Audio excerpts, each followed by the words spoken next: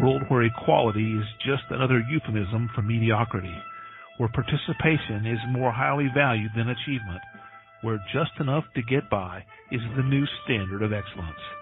There is a small minority of people who fight back against such apathy, who struggle daily to reach new heights. These brave few are the hope for the future, the bright shining light for the next generation. They are the ones who will lead us to the places we have never dreamed of, to the undiscovered country, to reach goals only a few can even begin to imagine. Unfortunately, none of those people could be here tonight, so kick back and relax. Prepare yourself for several hours of fun, friendship, fascinating conversation, and fabulous music. All those F's, that's an alliteration and kind of a radio trick. Speaking of radio, you're listening to the most popular radio station in the history of broadcast radio, at least among stations that originate from Chris's living room. It's Curious Times. Your host is Curious Listener. Here she is, Chris. All right. Hey, everybody. Welcome to Curious Times. It's Sunday, May 28th. Are you kidding me? It's the end of May. It feels like it's been a long time since I've been on the air. We've had just a series of, uh, well, we had um, some just empty days that were planned to be empty because were five five weeks in the month or whatever. Uh, but then a couple few cancellations and it's like just I can't even remember the last time I was on the air really, to be honest with you. It feels like it's been I know that we weren't here uh Saturday, Aaliyah Dawn canceled. Friday, of course Salva couldn't make it, but that was already a pre scheduled absence. Um Thursday, Jen Young wasn't feeling good. Amy wasn't feeling good, and I didn't even give Amy a chance to save the show. I just said, let's just call it done. Because I still wasn't feeling all that great. Wednesday, uh, were we here Wednesday with Kathleen? Was that the day I had power problems? I think that was the day I had power problems. Yeah, right. Power problems. Kath, I think Kathleen kind of did her own thing. Um, Tuesday we didn't have a show. Monday we didn't have a show. Did we have a show last Sunday? Last Sunday? No, I don't think we had a show last Sunday. Good Lord. So Kimber. Kind of the last full show, I guess. Crazy, hey? Uh, so anyway, th- thanks for being here. Um, we have um, Garima back, and uh, last time we had Garima, um, I found out when, as the show was starting, that uh, Aaliyah Dawn had uh, arranged for her to replace Aaliyah. And um, so it was kind of a nice surprise that I didn't have to cancel the show that day. And so anyway, following that show, uh, Garima wondered if there was a way to come uh, come on, join the join the Curious Times crew, and so we've settled on the fourth Sunday, not to be confused with the last Sunday uh, of the month. Is this the fourth Sunday? One, two, three, four. Yes. One, two, three, four. It's just that, oh, that's why it was such a bad week because there was like five Mondays, five Tuesdays, five Wednesdays, five Mondays, five Tuesdays, five Wednesdays. So anyway, so um, we'll we'll get to we'll re, re, refresh all of our memories about Rima and who she is, what she does, and all of that kind of stuff, and um uh, then we'll just come and have a bit of a discussion. If there's anybody that wants to call for a reading, get in queue. And uh, and and following that, uh, failing that, and following that, we'll just go ahead and, and lock it down early. Um, and we'll probably, like I said, make it, um, you know, about an hour to an hour and a half show, and uh, and then we'll call it. Um, so she, Garima is a certified clairvoyant. She's a psychic medium. She's also an energy healer, and um, uh, what else should I say? I don't want to read it like verbatim, really. Uh, you can read about her bio on the show page. You can also read about Garima at her face at her website, which is www.spiritual-alignment.com. And uh, there's a phone number as well, which is 302-521-3488. And you can email Garima also at the email address garima0608. Wonder if her birthday is June 8th. Um, anyway, garima0608 at gmail.com. So let's just go get Garima and uh, find out uh, what's going on. How are you doing, Garima? Hey, Chris. I'm doing well. How are you? I'm okay. Well, I just, so- it's such a pleasure to hear your lovely voice, and I wanted to compliment you. You look so fresh today, and now I know you took a nap, took a shower, had your coffee, so you're good to go. I just yeah, I did all of that within the last, you know, 15 minutes. So anyway. Good to you, superwoman. we have a superwoman here. Yeah, yeah, for sure. Super something. But anyway. Um and so hi Dan, I see you there on the phone. You must be working. You're working too hard, Dan. What's going on with you, man, and working all these nights. Um and I hope they're paying you um statutory holiday pay, time and a half here, you know what I mean, Dan? And so anyway, Dan is our is one of our very few males who uh, listens, and uh, so we're going to talk all about childbirth tonight, Dan. Ha ha ha ha. How's Oh, that's good. Perfect. Because, you know, I was wanting to discuss my cycle too, so that'll work out good. and, uh, coffee once a month or anything like that. How are you doing, Dan? What's going on? How are you doing? Actually, I'm off today and I'm just coming back from metal detecting on the beach. Oh, Melody, what did you find? Anything interesting? Uh, not, not just a bunch of change. Um, last week, same beach, I did get an old silver earring off the beach that I actually thought was a pendant. It was so large, I couldn't imagine someone sticking this to their ear. I know. I can't. I don't understand. Like it's like they're carrying freaking five pounds on each ear or something like that. Like I don't get it. I could not do it myself. You know what I mean? and then go swimming. they do everything, and they got like you know they can like they're sometimes these hoops they're big enough they can like skip skip with them, you know, and stuff like that. They can do the hula hoop or something like that with them, you know. I, I don't know, like I don't get it myself. That would be. I have enough trouble in this lifetime with like little accidents. Like I'm the kind of person that I would like be tearing through somewhere and my hoop earring would get stuck and uh you caught on something and I would like totally you know, lose an ear and do a face plant and everything else like that. So anyway, Dan, it's nice to see you there. I guess you're en route and you'll be home and so then we'll see you log in if we're still here. and uh, uh, yeah. well, I'm gonna go- mute. Okay. All right, Dan. Okay. You have questions about, you know, uh, about childbirth, let us know, okay, Dan? And um, so Dan, Dan's gone. So anyway, um, you guys uh, remember that Garima came to us through Aliyah Dawn. So so just tell re- refresh everybody's memory and and anybody that's brand new that wasn't here that night, Garima. Um, tell us a little bit about yourself, how you came to become interested in things metaphysical and uh, and such. Yeah, uh, I would love to chat about it. Um, sometimes these coincidences happen and they leave um, a nice, a, a beautiful story to talk about. Same thing happened last month when Aliyah Dawn posted in one of her groups on Facebook that she couldn't make it uh, to her radio show and she wanted to see if somebody can cover for her. So I raised my hand. Um, I, I said, let, let me try this new thing. I've never been on radio before and Chris was gracious enough to welcome me in. I, I know it was like complete surprise for her her at the last minute, but yeah, that was a that was a beautiful beginning, and uh, you know we can all la- laugh about it now. But at that time, I was like I was so nervous, and Chris was had no idea what was going on. Who is she? I don't even know how to say her name right. Indeed, uh, yeah, I remember that was.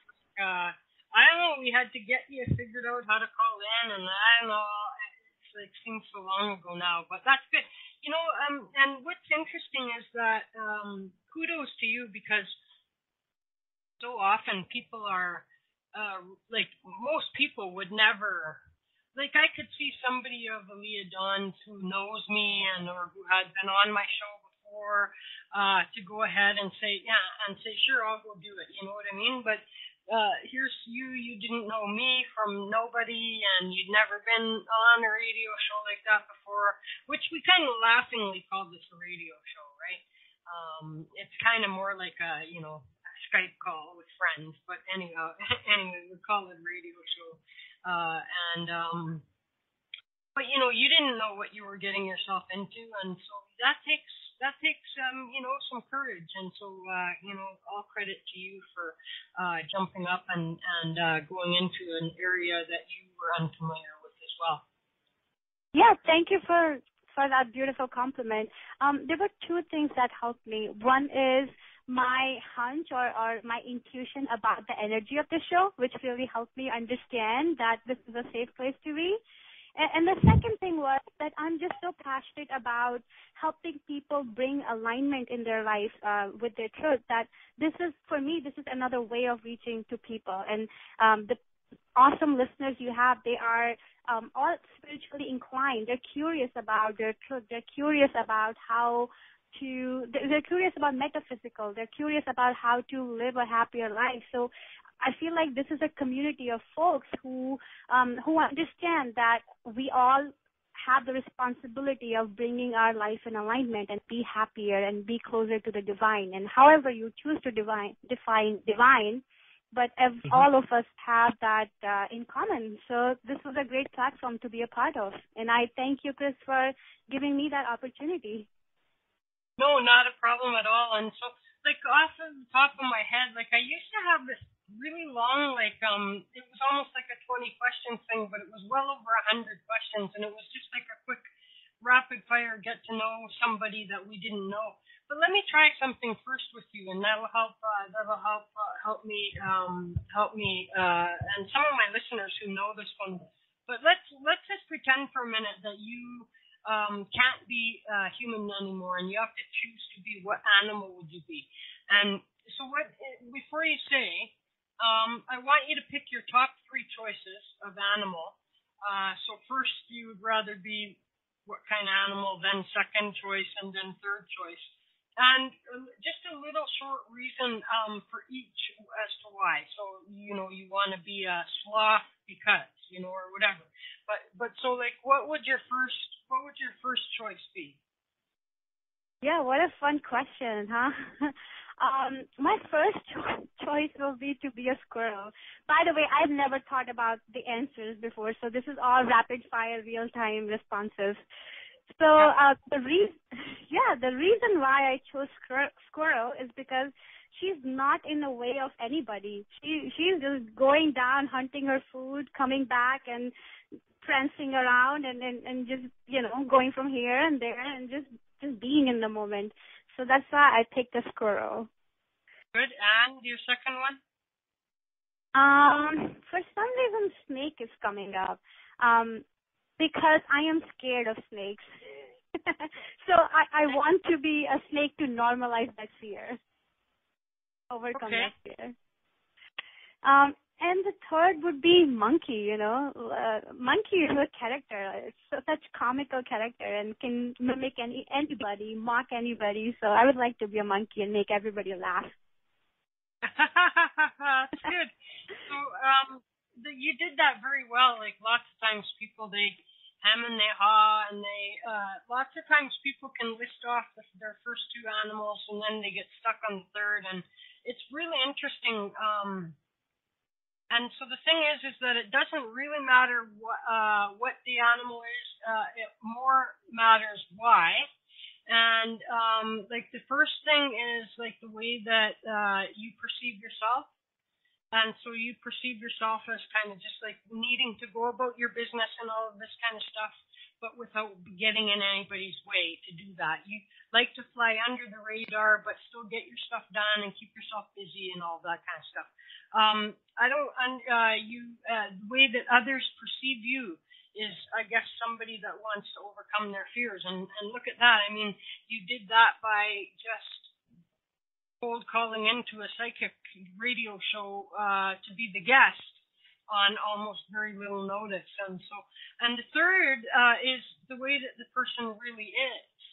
And so that you like to make people laugh, you like to be the kind of like the, you know, um, like to keep things light. Maybe, maybe you would be the person if, if, uh, if things got a little bit, um, if uh, the energy got a little bit thick or things got a little bit uncomfortable in a gathering, you might be the person that would be trying to break the ice and make people, uh, you know, um, feel more at ease and, and, and get them laughing and things like that. So that's a, ni- a neat little um, exercise for people to use with people they don't know. Uh, and in some ways, it helps you to um, without getting into, you know, um, a whole big long thing, it kind of gives you a real quick glance into the basic characteristics and, um, you know, things like this of somebody that you're just meeting. And, and so an example that I give is, um, and, and an example of why it doesn't matter what the animal is, it's more important why, um, is that, um, somebody might pick a snake. I had a guy, uh, a boss of mine one time. He was like the director. He was like the the dean, the dean of uh, continuing education, and um, he uh, he picked snake, and I was getting all ready for him to. He picked like king cobra or something like that. I was getting all ready for him to be all, cause you know, cause everybody's scared of them and everything like this, and um, and uh, he picked it because of its uh, it's a family, like it looks after its family. You know what I mean? So that gave me a whole different insight into this man. Um, yeah. And I had people that two people could pick like a lion, and one could be uh, picking the lion because it's very majestic and graceful, and you know this. Another one could pick it because it's like the one of the top feared predators, you know, and those are two different people that you're meeting then, right? Yeah. And, Yeah. Um, so uh, it's a neat little, uh, neat little exercise. Um, a neat little exercise Yeah. to try when you're just meeting somebody new. So, so that's good. Um, so now, uh, sometimes we like to ask people uh, just about like all of these um, different things because uh, just because somebody's a psychic medium and they believe in that kind of a thing doesn't mean that they believe in all of the all of the things um, like um, like other life forms out there. I mean, do you, do you, what's your thoughts on whether there's other life forms uh, somewhere out there in the universe or the multiverse? Yeah, I am sure there is. Um, I have uh, recently started astral projection, but I am getting there. But this is something I'm very curious about meeting beings from other universes, other life forms. So that's something I'm definitely keeping an eye on, and maybe I'll have an answer for you in in a month or two. Yeah. Well, you you're you believe in it, and so now you're in the process of of trying to um because there's a difference between believing something and knowing something, and so you're in the process of, of hoping to know and confirm what your thoughts are on it, and so that's good. Um, how about uh, how how about like have you? I can't remember if we talked about this before, but so clearly you must agree that there's um, an ability to communicate with people after they cross over. Yes. Uh, yes, I am also a certified medium, so um, yeah, I do that a lot. And so, so now, when you do that, um, have you ever like seen? Um, how do you see them? Do you see them? Do you hear them? Is it in thought? Is it how? How do you know that you're connecting with a dead person? Uh, and all of that kind of thing. Have you ever seen a ghost quote unquote? I mean, a spirit, crossed over. Uh... Yeah. Um. So when I connect with somebody who has crossed over, um, when they come close closer to me, I uh, feel sensations in my body, mainly toward on my back area. Um, I feel this weird sensations which are uh, hard to define in words, but at that moment I I know that I'm making that connection. Um, and then um, in addition to that, I also start seeing their pictures. The images keep popping up, and they show me different images. Uh, they show me images of them, how they look like before they even passed away or when they were child. So every spirit is different, and they pick and choose what to show. Um, but they also show me um, whoever, like their relationship with the readee, uh, whoever I am reading, how they related to them, what are some of the memories they have together, uh, what are the, some of the experiences they had together. So yeah, all those help me um, understand, um, you know, that I have this connection established. Right, right, right. Um, and so that's uh, so now. Do you um now how have have you have you ever have you ever thought about like reincarnation and past lives and future lives and all of that kind of stuff? Yeah, all the time. Um, I read people's past life all the time, and um, it's quite interesting, Chris. Um, I, I basically um, kind of set my intention to for any past life to kind of light up where um, whatever the readee is going through, um, they can kind of learn a lesson from. So it's it's quite interesting. Like almost like a video comes up in my uh, vision, and I see really doing something, and then I keep fast forwarding it, and then they show me the conclusion of how that past life concluded, and that kind of tells me um, what the readee should do or, should think about to overcome some of the obstacles they're going through in their present lifetime. Um, so that's that's what I do all the time. But it wasn't a big uh, paradigm shift for me uh, because I I was born into a Hindu family, and in Hinduism they do believe in reincarnation. So it wasn't a big uh, perspective change for me per se. Right, because it's in Hinduism that they believe in this, but in I think Buddhism does not. If I'm mis- not mistaken, does can someone correct me on that? I think uh, Buddhism they don't believe in yeah, um, you're right. Okay. Isn't that interesting, hey? How how um and and now now it makes me wonder if because lots of times and I I get all wrapped up in this idea of um maybe hundreds or thousands of different um existences that each of us is undergoing now and uh that past and present and future are all the same, but all on different dimensions. And so, um, you know, whoever I might have been in in 1825, uh, that's that, that's going on now. Uh, you know what I mean? Like I might be some Chinese guy. Yeah. So, you know what I mean? In 1825, but that's happening now. And then I might be some you know, future person. Uh, I I still am I still am kind of pursuing, uh, you know, a, a hunch, uh, which is the best I could call it, that you know we could be aliens could be us in the future. Like I have no doubt that human beings we need to and will um, find a way to live elsewhere you know what I mean, off off the planet Earth. And so, to the extent that, let's say, if you, you know, in the future, quote unquote future, uh, human beings find some other planet that's habitable and and reachable, um, or something similar to that, then it's you know, and the human body um, seems to evolve uh, and adapt to its environment. Yes. And yes. so I could see that in the future under different gravity situations and uh, oh, all kind of host of different things, atmospheric conditions and all of those kind of things that our even physical appearance could easily change over time as a result of that.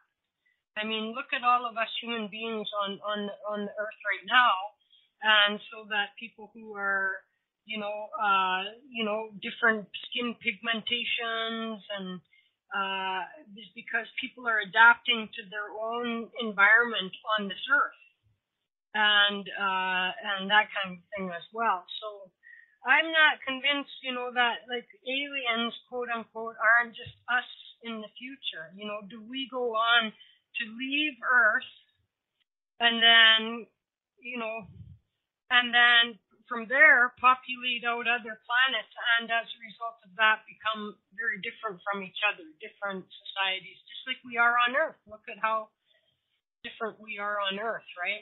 Um, uh, Yeah. There's just so many, so many differences. So um, it's it just it's interesting to me, but uh, because it's all hinged on this thing of time, and does time really time travel, time, you know, is it all happening at once? Um, more than one timeline happening. And people have talked about there's a group that feels that there's even like two timelines for the human race right now, for us. Uh, I'm not talking about maybe if we're uh, having other lifetimes on other dimensions right now, but just for us, and there's two two timelines working right now, and so depending upon choices that get made, you know, one might be the end of end of Earth and human beings, and the other is a better outcome. And I don't know about that myself. You know what I mean? But um, but uh, I definitely agree with you that there is other life forms out there, and uh, and and so interesting to. Have you ever talked with anybody who has had any kind of uh, visitation uh, that they thought was like an uh, alien abduction or alien visitation or anything like that? Um, not really, but I'm I'm all ears. Um, I I believe that that could happen, but I haven't come across anybody who have experienced that directly. Yeah, yeah, okay. Um, then let me just see. How about uh, what's your what's your feeling on um, and you don't have to know anything about it, but just do you have a feeling about whether um, like Bigfoot or Sasquatch exists? Um, I'm sorry I didn't catch that.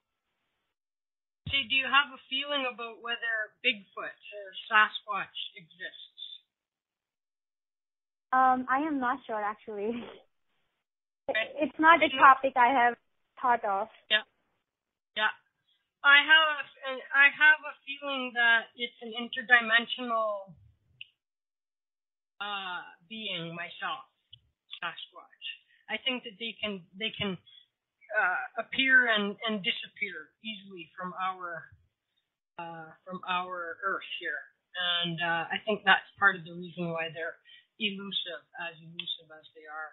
I think that if they do exist, that they're um, more spiritually advanced, if that's a lack of a better way for me to put that, than we are, and Hmm. um, higher vibrating, and um, so that's kind of kind of what I think about that. Um, let's see, uh, what else is there? Um, have you ever heard of or looked at the question of so many more people these days, and it kind of makes me roll my eyes a little bit, but um, because it's like a bandwagon almost that some people seem to be wanting to jump onto. But um, have you ever dealt with or come across the uh, the topic of um, walk-ins? Um, not real. Not really. Okay. Okay. Um, so it said to be Oh, that um, this. I, yeah, Yeah. in in astral projection, I have. Um, I I haven't experienced that myself though. Um, No. but I I definitely have heard about walk-ins. Hmm. I and I think that under some circumstances it is possible that that that would happen. But like these days, it seems like that so many people are claiming to be a walk-in, and it drives me a little bit crazy. But um, that's just me. You know what I mean? Um, it's almost like somebody's too many people just to just have to put a label on something and have themselves be special in some way. You know what I mean? Like how so many people go, I'm a star seed. I'm all like, what's a star seed? You know what I mean? And I go like, if let's let's take a little look at what what the situation is because people seem to think that there's Earth and then there's outer space. You know what I mean, Garima? Yeah. And, like, I'm, and I'm saying uh, Earth is part of outer space. yeah. so like we're a planet floating around out there in the dark too, and um, and so to that end, we are star beings also, and uh, you know we're coming from uh, like I don't like people have to like uh, they forget that you know we're part of that. We're just one little piece of the universe, right. and we're you know we're we're and so they're all like, oh, I'm a star seed from I'm a Pleiadian, and I'm all like, oh my god, you know what I mean? and uh, uh, no, you're an Earthling. You really are an Earthling. Um, but you know, last time we died, and we were our soul was was roaming around out there on the other uh, dimension where souls go after they have a physical life, and um, and that waiting to come for their next one. And you know, so we're all star beings in that sense, in my opinion. Like we're like they're all like, oh, I come from another planet. Like, well, like we come from another planet too. It's called Earth.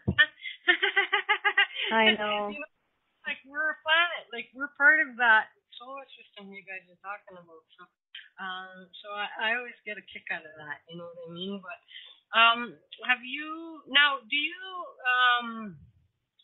How's your view on uh, animal spirit, animal totems, and you know, uh, like, do you believe? First of all, let's take this in succession. So number one, do you believe in such a thing as a spirit guide? A main spirit guide that is your uh, you pick them before you even come into this life. Do you do you have yes. any thoughts on that? Yes, I believe in spirit guides. I work with spirit guides. I get messages from them. So yes. Okay. And so then, um, uh, how about a thing like that people talk about called a guardian angel? Um, yeah, I believe in them too. Um, there are guardian angels out there. There are angels out there. There, there are all sorts of beings out there. Uh, some are extremely supportive to us. Others are not as much. But yeah, there are all kinds of beings out there. Okay. Um, and uh, like I like I feel that a, that we pick our own um, spirit guide and the, spirit guide that we pick for is, you know, some some soul that we know. And we know is a good friend of ours, soul friend of ours. You know what I mean? At the very least. And so somebody that we trust with our life. you know what I mean? Like we really are trusting our soul our um our spirit guide with our life, aren't we? Uh and so it seems to me that it's somebody that we have a great deal of trust in, um uh you know, that we that we choose before we incarnate. And uh, a, a guardian angel, on the other hand, I'm unsure of because um, when you get talking into the area of angels, um, then some people talk about how angels are different because they're they've never incarnated as a human being. So an angel is different in that way. Then you hear people talk about oh that they're great great great grandfather is their guardian angel and stuff like that. And like i'm inclined to think that we we also have a guardian angel when we come into this life. What what are your thoughts on that? Um i i tend to agree with you. Um i i agree with you that uh, spirit guides are um the entities uh, or beings who we have worked in in our past lives. So um, this was um some time ago when I was curious about my spirit guide. And what I did was I looked at, um, okay, what's my role? I was trying to track back my relationship with my spirit guide. Um, so I realized that I had shared at least two lifetimes with them. Uh, one mm-hmm. in one lifetime, uh, we were like best of friends, um, you know, two girlfriends, and we were like ha- attached to our hip, and we were just very close. Um, we had all sorts of fun, and we were laughing together. So that image popped up, which was so um, nice to see. Um, and in another lifetime, um, I saw her as uh, an old woman sitting under a tree and I was passing by and uh, she looked homeless and I took her in. I said, "Come over to my home." Um I offered her food, um, you know, something warm to drink. Um and then looked like she was very old. She did not have anywhere to go. So she spent last few years of her life with me. So there's this strong attachment. Oh, and and in turn, in return of uh, me taking her in and providing shelter and food, she taught me a lot spiritually even in that lifetime. So there's a strong connection I was able to see with my spirit guide. With guardian angels, uh, from what I believe in, now everybody's belief is different on these topics, but um, I don't think they had a body before. They didn't incarnate as human beings. Right, right. And that's interesting. Yeah. Um, now here's like this one kind of kind of um, confuses me a lot, which is that um, so we know that we're a soul, and we're so soul is energy, and then the soul pursues, um, an you know, a desire to experience things that it can only experience in a physical body. Yes. Um, yes, some of some of that. Yes. Okay.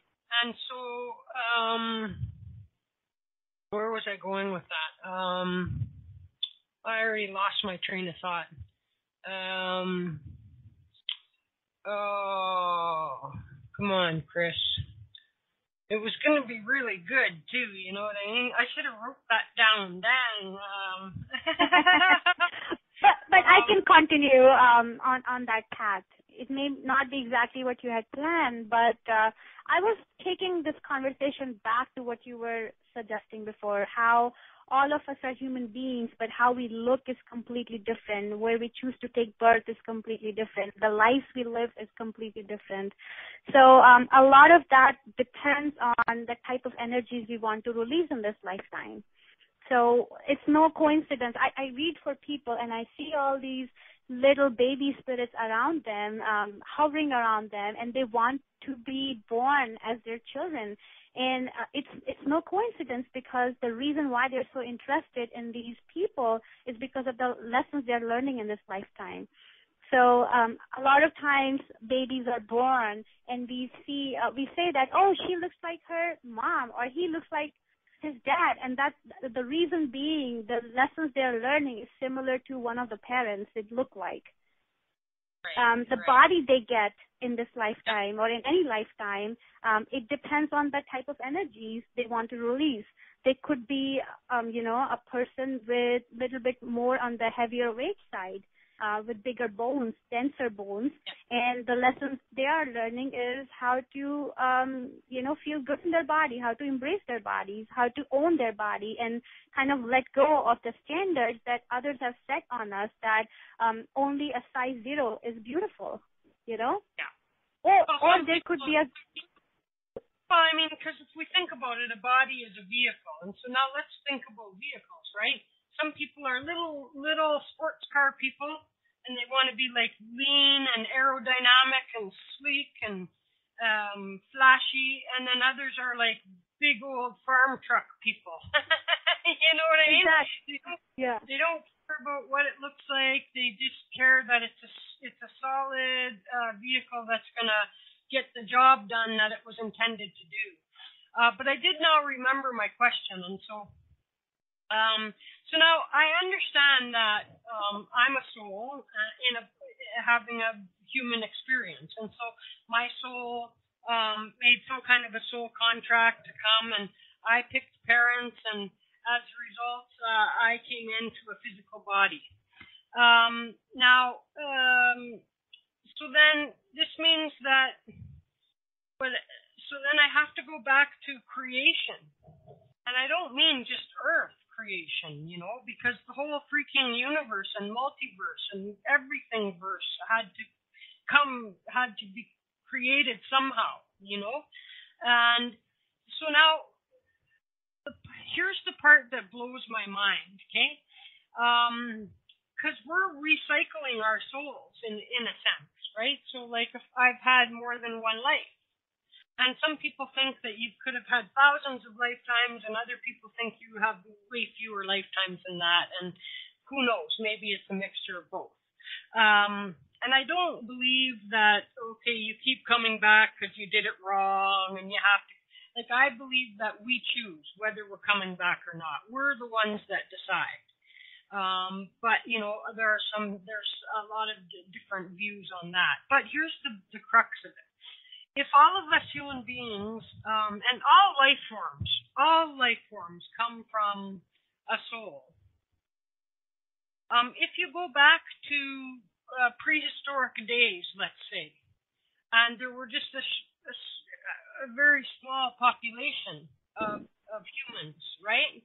Um, now there's uh, like what 7.2 billion people, uh, and so my question is, where the hell do all these souls come from? Like, were, was every soul that exists right now created at the same time that the universe was created? In which have a lot of those souls just been like waiting and waiting and waiting because there has to be several, you know, there wasn't an, there wasn't that many people on the earth before, and so now the the population continues to grow and grow and grow. So where do all these new souls come from? Uh, like, or have there all along been, you know, 15 billion or 100 billion souls, and at, at any one, like, in other words, is the soul population bigger than the human population at any given time? And like, what, where, what's your idea on that? Are were all souls ever to be created at the same time, and so they're just waiting their turn, or um, or do new souls? Co- because one thing we've been told is energy never dies, so my soul theoretically will never end. And so, how, like, what? I don't know. That one kind of blows my mind. What's your thoughts on that? Yeah, um, one thing I have learned uh, so far in my uh, spiritual journey is that a lot of what we see, we try to use our human mind to understand the. We we use our logic to understand a lot of things that happen in the universe, and um, and to be honest, not everything could be comprehended by our human mind. So yeah. my t- my take on this, when I do readings for my clients, I look at their soul age, and not all of them had thousands lives. Some of them are newer on this planet, and some of them are uh, more mature and they have been around um, for a while. And that's important to know because it tells kind of uh, the mindset of a person. So, for example, a newer soul tend to be more like they have this childlike curiosity about learning about everything, uh, relationships, uh, you know, how life works uh, on this planet Earth. Um, so, so they are curious and, and they want to know a lot of uh, a lot of what happens. The medium type soul um, are more like they understand how things work and they're they become more like activists. They start to form stronger opinions about things.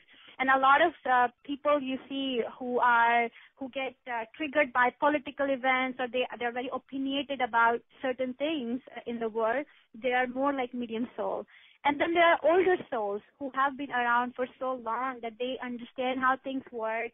Um, you know, they are more patient with things. They're more um, um, they, they're more understanding with things and they they know like things will pass so they don't react as much as uh, some of the uh, younger and medium soul uh, does. A lot of younger souls are like actors comedians you know performers um, so yeah it's it's really interesting to see that. But i, I think it's it's not um, it's it's hard to kind of say you know where whether all the spirits or souls came into existence at the same time because a lot of them, a lot of us are, you know, not not um, older souls. A lot of us are um, younger souls too, and the mix of all keeps the whole universe balanced and interesting. To be honest, you know, and I we can also if we're if we're aging based on how many lifetimes, that's different than how long that soul has been in existence. You know what I mean? Yeah. And yeah, we're saying yeah. Yeah. So so we could have I was uh, could have, you know, two people, one of which we would characterize as an old soul, which might mean that they've had many more lifetimes than the, than the other person. Um, but those two souls could have been created at the same time. And we would call one a young soul and one an old soul. Um, right. My thing is this, is that because we're energy, um, and I have to believe a little bit on the scientific side of things, which is that um, there was something that happened that was absolutely so mathematically precise uh, as to create things like DNA, which is very complex and specific. And if one little DNA strand was different, you know, we would not be who we, you know, human beings kind of thing, and and all that kind of thing. It's all like so masterfully to be an accident is impossible to me in my thinking.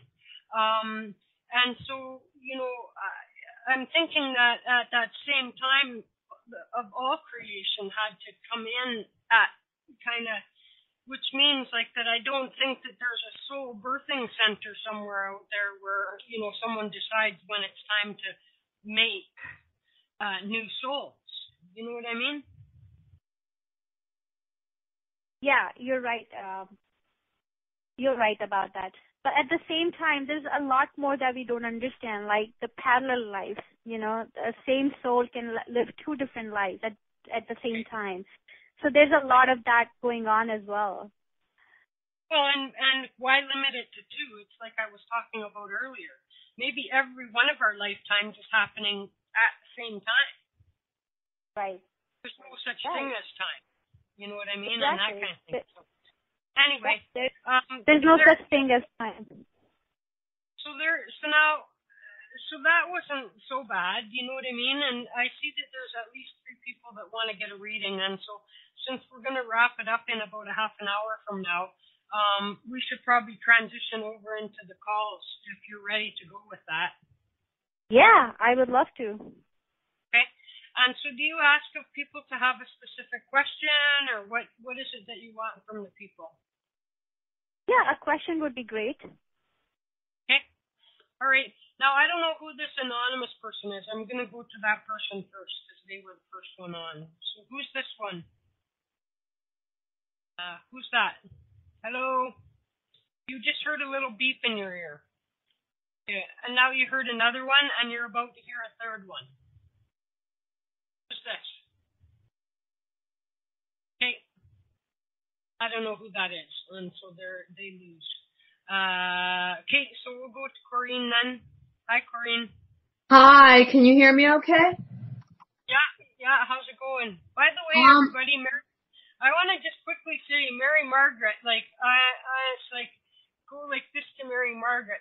She sent me a private message on Facebook, right?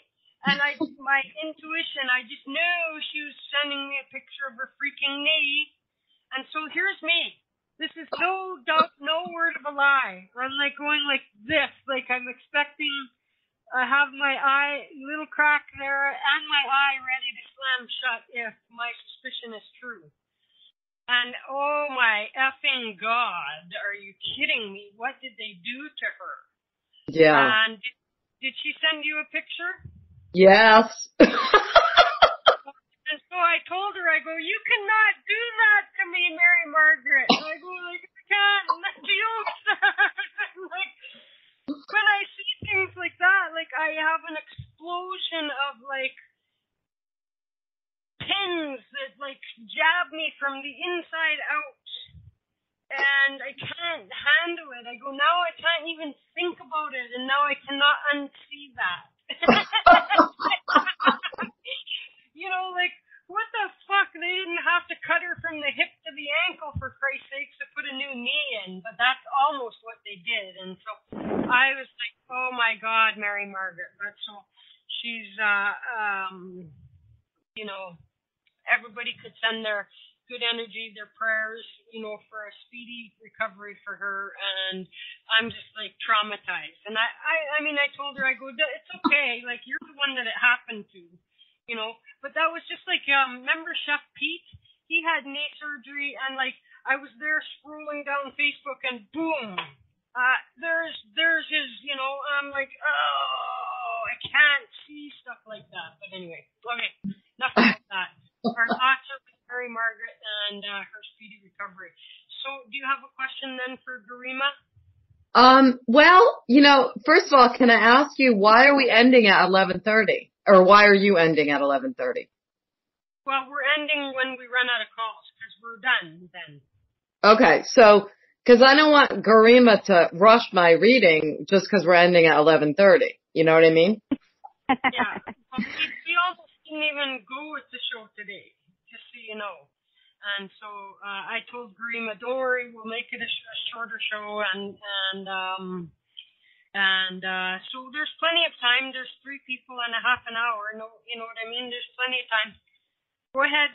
Okay. Hi, Garima. Can I ask you what does your name mean? Does your name mean anything? Yeah, um, it's a Hindi name, um, and it means dignity. Oh wow, that's cool. Thank Um. I was going to ask you. Well, I, I won't interview you now, but I was going to ask you a bunch of questions about living in India, but I'll, save that for another time.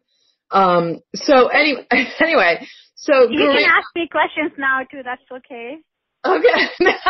I just wondered because India is such a mysterious, seemingly mysterious place, right, Garima? Like, yes, and um, so I wondered how much that had to do with your, you know, de- delving into mediumship. Yeah, it's interesting. Um, I, actually, I didn't catch your name. It's Kareen. Corinne. Okay. Yeah, it's interesting, Corinne. Uh, living in India, when when we think about India, you know, coming from outside in, um, it's a different ballgame. But when we are actually in India, the culture there is just very different. Um, so while growing up, I did my engineering in India, and there was just a lot of pressure growing up to be something because it's not a very rich country. So um, everybody wants to study hard, get good grades, and you know, uh, to be an engineer or doctor. so I went through the same grind growing up. Um, um, as part of the, I was fairly religious growing up, and as part of that, um, um, I had I performed a lot of rituals, uh, went through the whole religious training uh, and whatnot, but not as much on the spiritual side of things, not as much as connecting with spirits or talking to spirits, because that that that pretty much is prohibited. It's like okay, uh, not not um, normal people do that, even within India. But then if you dive deeper into yoga and uh, how yogis lived their life, um, you know, many, many, many years ago, um, uh, that was more possible at that time. But just growing up in a, you know, uh, middle class home, uh, middle class household within India, it was a different experience. Yeah, no, I bet it was. Now, Garima, are you familiar with Amma? With Om, Amma? uh, what is that? Amma is this woman from India that she's called the hugging saint. And all she does is she goes on tour and all she does is give people, hundreds and hundreds of people hugs. And wow, they, that's awesome. yeah, it is. You should look her up because she is awesome. Um, and of course we know about Mother Teresa. So I mean, you know, your country, I mean, it is, you know, and I, I realize that it, there's a lot of poverty there and, um, but there's, there's so many cool things about India that, that are mysterious and, you know, so I just wondered how that kind of played into your, you know, looking to be a medium and whatnot. And Yeah. yeah, that's really cool. So anyways, yeah, Yeah. check out check out Amma when you get a chance. And um Yeah. Yeah, that's why that's what I was saying, Corinne. Growing up in India was a different experience uh, because of all that cultural conditioning, society conditioning I went through. But like living in the U.S. for about for over 12 years now, I have a very different perspective, and now I'm able to see the richness that India has to offer because I have been on the yogic path, the meditation path, the mindfulness path. Now when I look at India and all that it has to offer, it's just so deeply enriching that I wasn't able to tap into before. Right. Interesting. Um, yeah. so not to get personal, Garima, but a lot of, um, like I know a few gals that were born in India that live here now. And a lot of times the men sort of, you know, I should say their fathers or other men have kind of suppressed their spirit, so to speak. Is, did you find that to be true? Yeah, Corinne, um, my take is that um, a lot of times we um, incarnate into these um, countries or cultures or or uh, geographies, um, you know, where um, we're working on different energies. So a woman who's who was born in U.S. has different lessons to work, go through, different energies to work through, and women in India has different. Um, even in India, what my husband's family is working on energetically at the soul level is very different than what I um, or, or my um, my mother and my grandmother uh, they worked on. So yes, you're right. There is this uh, oppression energy. There's this suppression energy where women don't believe in their own light. Um, they can't shine bright. Um, if they do, they they kind of feel threatened, and others feel threatened, and they oppress them. So there's definitely that energy that people are working through, uh, especially in that part of the culture. And mm. just like that, you know, um, there's no right or wrong, or there's no better place on earth than the other. Um, we're just working on different type of energies here. Right, right, right. Well, I know I have a good friend Sheila from India, and she actually doesn't talk to her. Well, she talks to her dad, but her dad has you know, he's been very hard on her, very, very hard on her. And, uh, so anyways, that's another story. But anyways, I just wondered, you know, but that's excellent that you said that, Garima, about us working on different things. Uh, you know, born in different places, we're working on different lessons and whatnot. Um, that's really cool. So, um, okay, so, and number three, do you know how to make chicken tikka masala?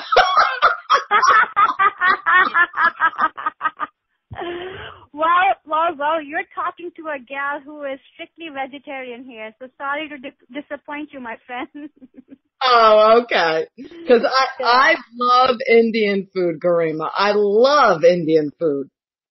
Well, if you lived in the Bay Area, San Francisco Bay Area, I would have invited you over for some vegetarian Indian food. But I don't know where you're located. Um, I'm in Massachusetts, far away. far, far away. but well, that's if you if you ever come to this side of the country, do give me a shout. I definitely will. Believe me. Amy, Amy saying in Amy saying in the chat, but we travel. When can we come over? I am I am going to say anytime, Amy. yeah, there, there's nothing better than connecting with like-minded people. So I am all up for that connection. Um, you know, so anytime if you guys are, uh, you know, in this part of the country, definitely give me a shout. If you are, if you like Indian food, even better. Yeah, I can rip up some of the recipes. Oh my god, I bet they are so good, Garima. Oh my god. Um, okay, so you know, I coincidentally am also taking Aaliyah's mediumship class right now. And oh, wow. yeah, so I wondered if you had any, you know, not, not to give away secrets or anything like that, but, um, you know, I mean, how was it for you to take that class? Like, what did that mean to you? Yeah, so um, just um, a quick thing. Um, I did not take her full class. Um, I did a very quick private session with her, which was over three classes. Um, I have been working with Boulder Psychic Institute for last two years. I'm taking their graduate studies. um, their graduate level program, which is the Avatar program. Um, so at that time, when I uh, reached out to Aliyah, which was late last year, um, I was trained psychic and I've been doing readings for a number of years. Um, and um, I was seeing spirits, but I just needed some sort of practice and some sort of framework in talking to spirits and whatnot. So we did uh, one-on-one session. I think she did three sessions with me, and then uh, one final practice one before the certification. Um, so that was my experience. I didn't go through full class to provide you uh, that perspective. But one thing that was helpful, and it's still helpful, is just the practice. Um, the more I practice, the more uh, comfortable and confident I become, and the more I know how the spirit communicates. Because the communication with spirit is very cryptic. Uh, it, it's different than the psychic reading. So for me to just understand that difference and it, and knowing that okay, the messages I'm receiving are not from uh, the readee's higher self; they're coming from a deceased loved one. So just just differentiating that within my own communication, my own interaction with spirit was uh, the key. So just practice helps a lot. There are a lot of online groups you can practice too. Um, you can you can practice with live audience and whatnot, uh, or doing a radio show like this could be helpful. So to me, that was the most important component. Mhm. Right. That's good to know. I, I mean, I practice wherever I can. Believe me. I mean, I'll pull strangers off the street and practice. oh, that's good. That's awesome. That's awesome. I'm so happy to hear that because a lot of psychics, even myself, I went through a phase of pulling myself out of a closet. Um, there were like so many different reasons why I wasn't comfortable being out there, but I'm so happy that you just take that pride and, and own yourself and even not afraid to approach strangers. I really love that. Thank you for that. It's inspiring. Oh, thanks. Um, so I had, cause I have a radio shoot show, shoe, a radio show too, Garima, and I had a gentleman on last Thursday, this past Thursday, and he told me, speaking of spirit guides, he told me I had a spirit guide that was a gypsy, and she was, you know, this guy didn't really know anything about me, Garima, but he described what I would describe myself like, you know, sort of very creative, writing wise and, you know, artistic and she loved music and really kind of like a free spirited gal, you know? So do you get any sense like is, you know, uh, of who my spirit guide might be? Or besides yes. her maybe or, okay. Yeah, um, could you say your full name for me? It's Corrine DeWinter. Okay. Thank you.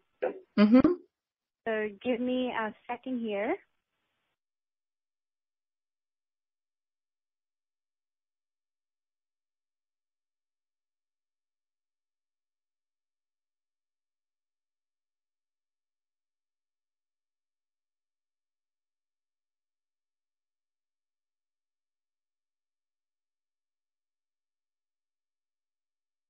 I gotta get the Jeopardy music out.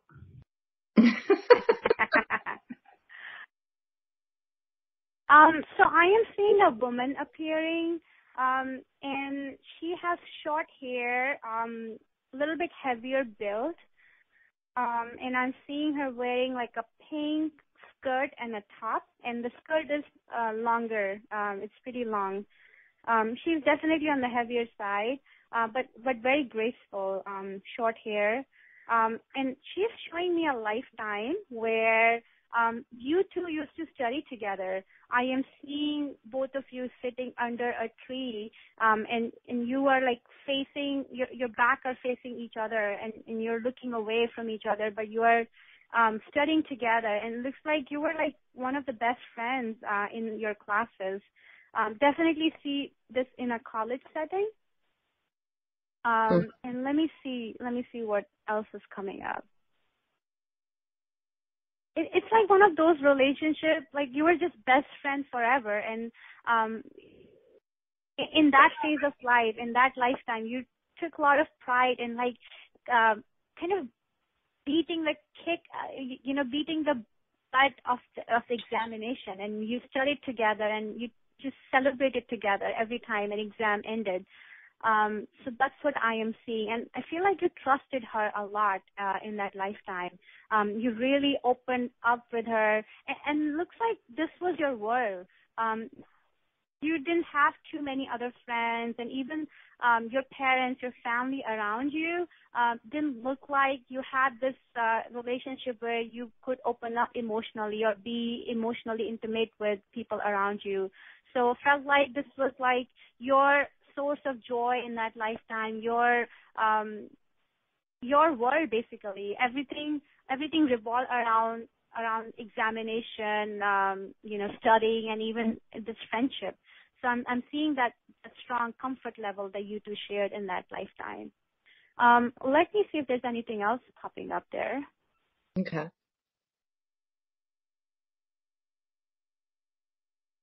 Um, I am also seeing in that lifetime um, that you lost your eyes um, due to an accident, and I'm seeing this uh, girl, uh, your your friend, helping you out in that lifetime. Um, I'm seeing she's helping you cross the road, um, and, and she's helping, she's holding your hand and taking you to the other side of the road, and she kind of became like a like a guide in, in that physical sense, uh, and I feel like that's why um, this relationship um, is, so much. There, there's so much trust in that relationship. You really trusted your life with her um and you really listened to her and even uh, when at the time when you didn't see properly or you had this uh uh physical impairment uh, you were able to rely on her completely and i feel like that was the foundation of this new relationship in which uh she's your spirit guide okay do we know when that happened garima yeah let me see um, I am seeing about eight, nine lifetimes ago. Mm. Um, let me see what else is coming up. Um, looks like England. Uh, England is popping up. Uh, that area is popping up. Okay, so you think she still might, or still is one of my spirit guides? Yes. Okay. And Garima, do you see anything to do with me right now in this lifetime from my future? Sorry, I didn't get the question. Okay, I don't get it either, but uh, do you do you see anything popping up from me in this lifetime from my future in this lifetime? Yeah, um, let me see what's coming up. Thank you.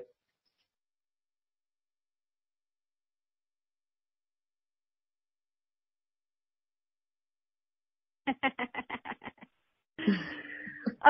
so your your spirit is showing me um riding a a speedboat and I'm seeing your in a lake or something in, in a water body and you're doing some really cool stunts and you're telling everybody look at me look at me look look what the new things i'm learning. So um i feel like uh just spiritually there's a lot that you're learning right now and you're just so eager for everybody to see um and, and you're eager to share it with everybody. There's this sense of excitement. There's this sense of achievement that you're experiencing and you're enjoying right now so that's what's coming up um, let me see what else is coming up.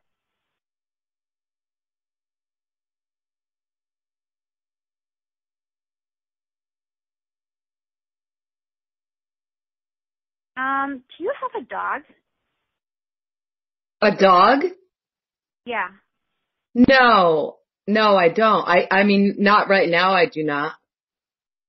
Okay. Um, there's this um um, golden colored dog is coming up. Um, and I'm seeing you sitting next to this dog. Um, you have glasses on and you're doing some paperwork, um, filing some paperwork. Uh, so let me see what this, this really means. Okay.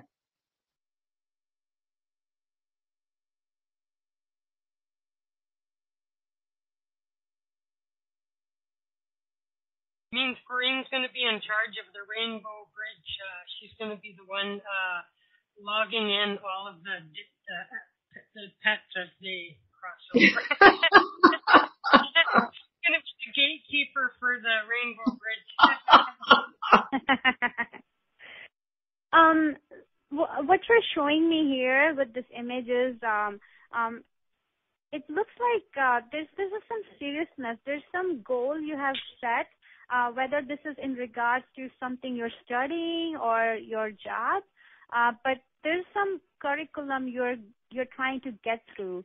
Um, I'm seeing a lot of seriousness and a lot of determination in there. You almost have your game face on, but at the same time, the environment you you're sitting in feels very relaxing to me. And especially this dog is coming up. There's something about company of this dog. It's almost like a partner to you. Um it, it's almost like um telling you that you're never alone. I am there with you. Um i'm not sure if this is a living dog or some some a dog that used to be with you in the past.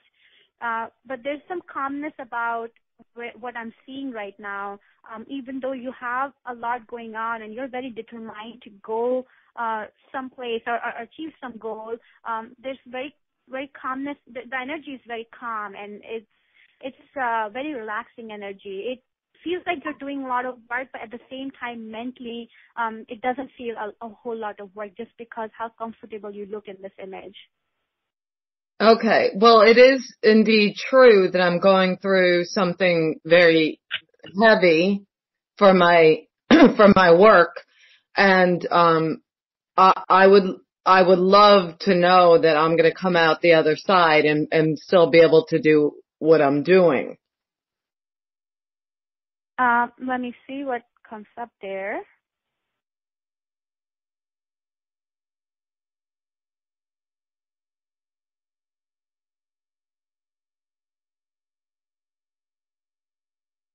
I feel like you will be able to come out of it. Um, but the question, the guidance that's coming up from the spirit is, could this be more joyful and heart-centered experience than what it is right now? It looks a little rough on you right now, and probably that's why I'm seeing um, the significance of the environment you're sitting in this image. The environment is helping you to like stay calm and um, comfortable, but at the same time, um, my question would be, um, is there any way you could be more joyful and, and heart-centered and bring your heart in the work? Um, because right now the energy that I'm looking at is very uh, rigid and very um, goal-oriented, and, and, there's almost a game face on I'm seeing uh, in this image. So my, that would be my question: Is there any way we can make this more joyful for you? So that yeah. you're happier and more fulfilled and more content you know? Right. Um, yeah, I don't know if there's, with what's, with what's going on, I don't know what the hell could make me more happy in the moment. You know what I mean? here's, my, here's my, here's my take on that, okay? Is that the situation is generating some very, uh, exact opposite feelings of love and fuzziness. You know what I mean? And uh, of course, rightfully so, in my opinion.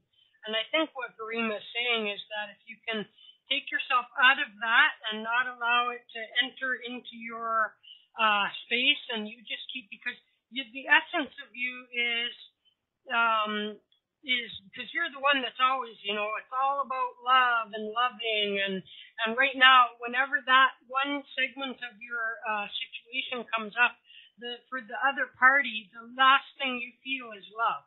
You know what I mean? Right. And you have great hostility and anger, and you rightfully so. I'm not saying that's wrong. I think what Garima is saying is that if you can shift that energy back and not allow it to touch the essence of who you are, and just carry on doing what you're doing with, uh, with that heart-centered um, way that you normally would, um, uh, it's going to it's going to uh, come. It's going to um, resolve in whatever way it's going to resolve. Now, the thing that you might have some control over is the toll that it takes on you physically. Like it's the situation is going to decide the toll it takes on you professionally and that kind of thing, right? but you have some control over the the consequences of the of of, of how it affects you. Um, right.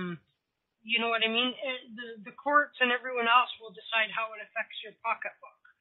You know, so I think that what Garima's saying is like if you could try to shift out of that hostile environment that it's throwing you into in that one section of your life and just be the other be the purple plate. Be love and good energy. Be a purple plate Corrine. Be yeah. plate. right. Be a purple plate. That's you know there you go. That's i'm tired now.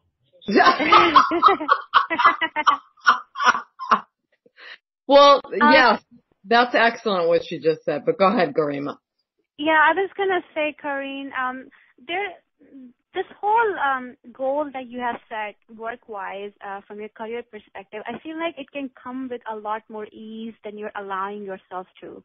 Um, I feel like um, there's just some, rigid energy, uh, and this is not your energy, by the way. This is some other energy from your workplace, which is like, no, you have to do this right now in this way. Um, it's not allowing you to fully present, to be, to fully show up um, at your job and, and the project that you're working on. Um, I feel like um, this is getting harder than it should be for you.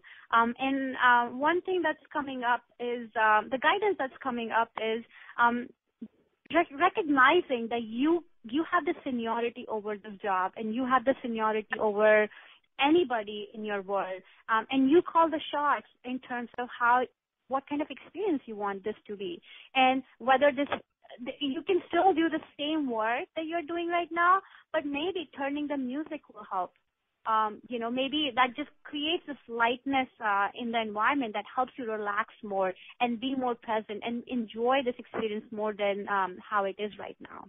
Right. The other thing, the other thing that's coming up, uh, and, and probably this is what the dog is trying to tell me. I feel like your your spirit is longing for a partnership. Um, it could be a romantic relationship or any kind of relationship where somebody, uh, I'm actually seeing a man, uh, somebody would like come over and give you a, a, a mug of coffee and say, hey, sweetheart, you have been working for too long. Here's some coffee. This will help you go a little bit longer. So I feel that longing is coming up, and I feel like that's the relevance of the dog I was seeing, which is reminding you you're not always alone, even though you think you are going through this uh, rough experience by yourself. You're not alone, and I'm by your side. And I, I, I tend to think this is some soul. I don't know if you ever had a dog, but there's some spirit coming in and, and trying to remind you of that. Well, you know, there was a dog just here visiting me. Um, but I, I had a dog when I was very little, Garima, and he, the dog got taken away from me, and I always think about that dog, you know. Um, what color was that dog? It was like sandy blondish, like. Yeah. Yeah. Yeah, that's that's a dog I'm seeing. Yes. Mhm. Yeah. Snowball. His name was Snowball. Oh, okay, okay. well, while the connection still exists, even though the dog was uh, taken away from you, nobody can take away that spirit from you. So that connection is definitely there.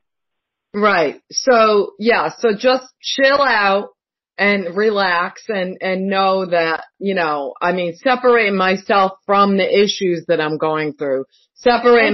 my yeah. Okay. Yeah that, that separation will help you a lot.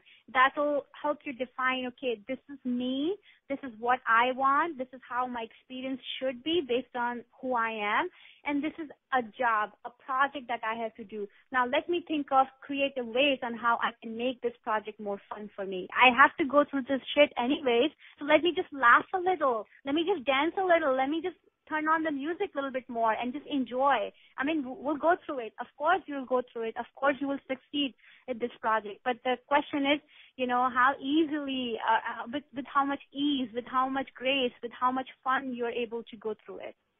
Right, right, indeed, you're absolutely correct, and I will work on that. I will definitely work on that. Awesome. That sounds awesome. Thank you. Hey, thank you, Garima, and thank you for also letting me ask you a bunch of questions. Oh, I loved your questions and uh, thank you for the opportunity. you know, um, I, I also learned a lot from you. Never be afraid to approach strangers and do psychic readings or mediumship readings for them, right? Totally. no, I, they, right, you have nothing to lose. If they say they don't want it, then you don't do it. But, you know, a lot of times if you're getting a feeling, go with it. It doesn't matter who the hell it is. You know what I mean? Just I mean, I talk to everybody all the time, but anyways, you have to have that, that, um, um, you know, that pride about you, Garima, because you're on the right track and you know what you're doing. So go ahead and share it with the world.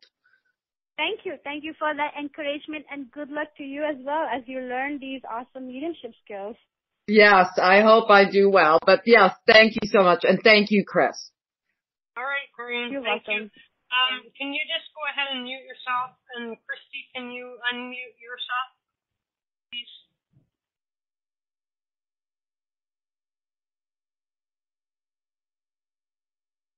Um. Uh, wait, that's that.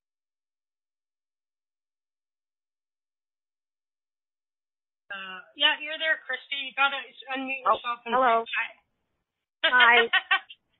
Hi, Garima. Hello. I'm Yeah, here. got- Hi. How are you? Good. Um, and just to make sure I caught your name right, Christy, is that right? Christy. That is correct. That's me. Awesome. Well, nice to meet you, Christy. How are you doing tonight? I have had a pretty good day. The weather's been nice here in Michigan, so that always helps my mood. So I'm happy about that. Wonderful, wonderful. I have, you a, have a question. Yes, I was wondering if um I've been in a bit of a a rut and I would love to be able to pursue something um that is a hobby to make some money on the side and I am having a difficult time getting started with that. I was wondering if you could see something that I be, I might be able to do on my end to help push me over that initial hump. Okay. Um, and could you say your name, full name for me, please? Yes, Christy Joellen Faust.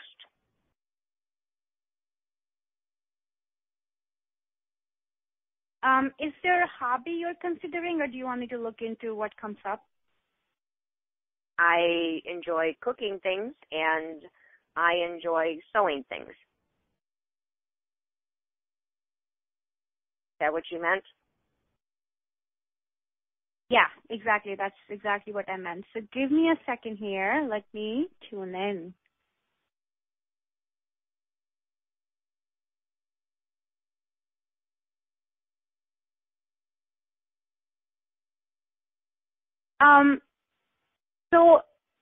Christy, your your uh, energy looks really conducive to uh, sewing more than cooking.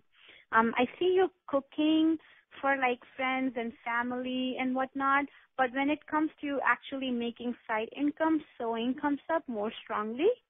Um, and I'm seeing you um, really forgetting everything, all the shitty things happening in life, and really um, really focusing on sewing and creating something beautiful and that gives you so much thrill so much joy um, that nothing else uh, matches that. So i'm definitely seeing you opening more like an etsy shop or something where you could sell things uh, that others are able to buy from you.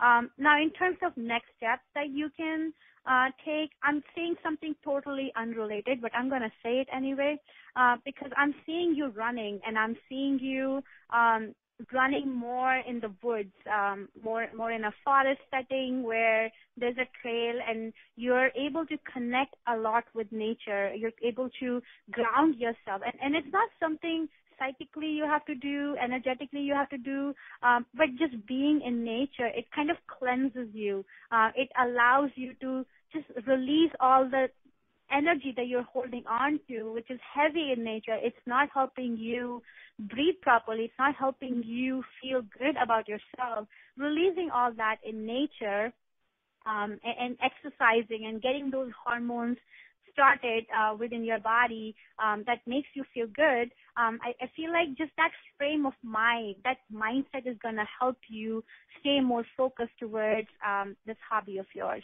Does that make sense? Yes, that actually makes perfect sense. I do feel more grounded if I allow myself to spend a little more time um, in the woods outside, um, even in the grass. And I haven't taken the time to do that in a long time. And yeah. that that makes sense for me to help restore myself energetically. That might that might help me get over this this hump. So yeah, exactly. Thank you for that. Um, I don't know. Do you run? Uh, I'm not sure why I'm seeing the running piece. Um, that probably wouldn't fit into into me. Um, I was thinking maybe that was um, maybe it was maybe meant in a different way other than literally, maybe figuratively. Yeah. Um, I am seeing you running. I'm seeing you wearing these uh shorts and, and you're running and I feel like running is um it's it's not a big deal in a way, but if you look at it, um, it helps people to stay um, focused on on a goal. Basically, um, it, it trains people. Okay, uh, keep moving, keep moving. Take one step after another step, another step, and keep taking steps after steps. And all you have to do uh, in that moment is to just focus on one step at a time right? And I feel like in the situation where you are in, where you feel stuck, that running will be a great activity to pursue. And if you're not a runner, don't worry about it. Uh, even walking will help. But the idea is to keep moving, just training yourself to keep moving and not give up and keep moving. Um, I feel like that that's the relevance of it. Um, the image I'm also seeing um, you running and taking breaks. Uh, I'm seeing you sitting next to a waterfall which feels a very peaceful image right now. So I feel like all of this could be very healing for you. That sounds perfect right now. you know, Christy, one one of my favorite things to do is visualization. Even if you um you know before sleeping at night maybe, you know, uh you can try visualizing where you're in in a forest and um you're you're in woods and you're just inhaling that beautiful um, air, this this um, misty air, you know, of the woods, of the red ground, the trees, the flowers. You can try to inhale that smell. You can visualize, you know, sitting next to a waterfall. You can visualize um, hearing those sounds. I don't know if you're a good visual, you, you enjoy visualizing or not, but that's something I do, and that relaxes me a lot. That that is um, something I I can do, but um, not that far from my home, we have a place called Dow Gardens that um, I have a membership to already. You know, a season pass, whatever you want to call it, and they hmm. have all those things that you have described. I just um, haven't taken the time to to go there this this this spring or this summer. Um, and I I do enjoy going there, and I don't know why I haven't um, taken that time and they do have all those things you described. They do have a little waterfall and they do have the lake and they do have the the trails that you can go through. And um I will put that on my to-do list this week. Awesome. I I love hearing that. Um and I also want to tell you Christy one thing that's coming up. Um the word temporary is coming up and and the guidance here is that whatever you're going through, I feel like you're going through um uh, some some sense of security, the first chakra type lesson where you're learning about uh, releasing energy related to survival and that sense of security. And I just want to tell you that all of this release you're going through, this is a lot of work. This is this is exhausting you, but it's also temporary. This is gonna pass soon. So you know, keep doing what you're doing, and, and one step at a time, um, and and you'll get there. I like the word temporary. That's a nice word to use. Thank you. you are welcome. You're very welcome. Well, it's nice talking with you. You too. Have a good night. You too. You too. Thank you. Thank you. Thanks. Wait, let's go get Amy then. Hi, Amy. How are you? Hmm. Hold on. You on? I have you on speaker. Hi. Hi. This is great. Um, this is great. This has been a very enjoyable show. So yeah, I just want um a reading just like that. Who's my spirit guide and um whatever else. Um, just whatever you pick up. My name's Amy. Okay. Um, so your question is you want to um, get to know your spirit guide. Is that right? Yeah, that'll be perfect. Okay. So, and what's your full name, Amy? My name's Amy Louise Kavanaugh. Okay. You're you're showing up as a beautiful white color today, Amy. I love that color, and it's not the color of unconsciousness. It's not. It's a color of uh, um, deep spiritual knowledge and truth. So I love that, and thank you for showing up today. Let me look into your spirit guide.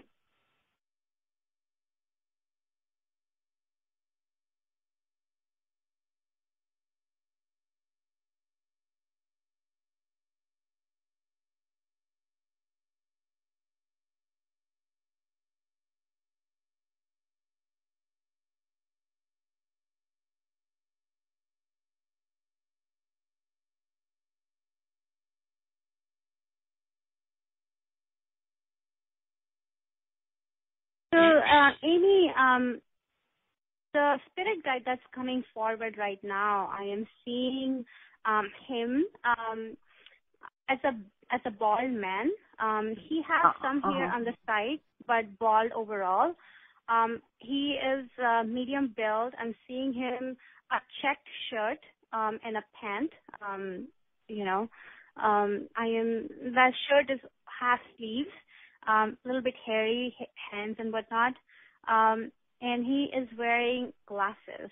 And when I am seeing um, how you two are related, a past life is coming up, Amy, where I'm seeing you as a little girl, um, and you have your hands wrapped around him. And um, um, looks like he is a father figure, but uh, he's a little bit older in age. Um, um, so he probably had kids late uh, in that lifetime. Um, so that image is coming up, and I feel like um, doesn't look like you had your mom in that lifetime. It, it was only him and you. Um, so I'm seeing that connection where I'm, I'm seeing this image popping up right now, where as a child, um, you you look pretty scared, and and he is like consoling you, and he is um, telling you it's okay. It was just a bad dream. It's gonna be okay. Everything is going to be all right. So there's this sense of comfort. Uh, I am seeing. Um, I feel like you just trust him a lot from that lifetime. Hmm. Interesting. I have a question about spirit guides. Um, because you know, if this was a person from a past life, but can we be a spirit guide? You know, because we're multidimensional. Um, can we be a spirit guide? Like, you know, can we be a spirit guide? And can we have um, a life going on on Earth at the same time? At the same time, you know what I'm trying to say? You know, or or um, I'm not articulating it properly. You know, No, like, you um, are. You are doing a fabulous job in articulating it. So my belief is yes, but I don't have a way to prove it to you. I haven't read. Yeah, either do life. I, other than the Yeah. fact of just trying to move farther. You know, I just sort of like, you know, grab onto these ideas, not grab onto them, hold on to ideas and kind of like play around with them for a while, um, until they become, um, not sustain, you know, not sustain, you know, uh, almost until something proves like, oh no, that, that, um, that couldn't be that way. Because um what you were what you were speaking about um brings very at first I you know at first I thought you were talking about my father you know my dead father. Um well first when you said it was a boy I figured it was my dead husband. Then when you said it was bald I thought it was my dead father. But then the more you talked about it because I had this very Corrine um met my grandson last night. He skyped with her. And my grandson and I had a past life together and he talks about he but now he doesn't want to talk about it anymore because he's getting older. He's almost eight. So um he's like oh yeah that was just a joke but um when he was like five four i guess it started probably about five maybe four and five he used to talk about remember when we used to live in the stick house and i was older than you and um our relationship now, um, he's seven and a half, almost eight now. and Our really, it's just, it's just this really, really odd, um, good but odd, but odd relationship. He, um, he used to call me Grandma Mermaid, but then he decided, um, and he told Corrine and um, Christy last night that um, I was not a mermaid because the and the way he found out I was not a mermaid was because um, I keep my fins because I do, you know, um, in a storage unit and no, um, so it's just kind of this like snarky relation. Not anyway. It's just it's a very old relate. You know, it's like it's a relationship that has um that has you know lasted thousands or millions of um there's so much comfortability around it that you know we can um offend each other and um and just speak um total truth. So when you were saying that i was thinking well maybe that um you know maybe um the energy that you were pulling forth um it just sound it the nature of the relationship and it just being us and no other woman around and stuff like that um just sort of rang familiar to um these stories that my grandson used to tell me that now he says were just a joke because he doesn't want you know because he just wants to believe in the here and you know you get to the point where you just buy into the um here and now and it's just a lot easier. So anyway that's fascinating. That's very very fascinating um, lots to think about. So, does he have any um, message for it? Does he have um, any suggestions yeah. as to how I could be doing my um, Earth Walk um, more uh, graciously? You mean your model walk? yeah, the mar- right, exactly. yeah, that's it. I don't want to be. That is so funny that you said that because I could. That I mean, it's like I cannot stand victimology but um I will be a martyr and um this woman that I used to um be in a group with said, um, what's really the difference? It's just really just a um egomaniac ego, it's a victim with an egomaniac an egomaniac you know what I'm trying to say. Maniac. Egomaniac yeah. victim. Yeah. but um so yeah, anyway, let me see. See what yeah, let me see what messages are coming up.